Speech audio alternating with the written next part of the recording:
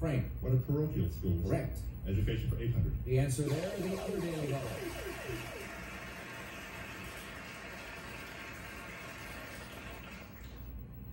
Seven thousand dollars, please. That's a player, Frank. Easy come, easy go. I know. All right. The category is education. Remember, ladies and gentlemen, that this is a former teacher, so he feels rather confident. Category education. Here is the clue for seven thousand dollars. In 1896, the Supreme Court used this oft-quoted phrase to describe acceptable segregation. What is separate but equal? You now have twenty thousand.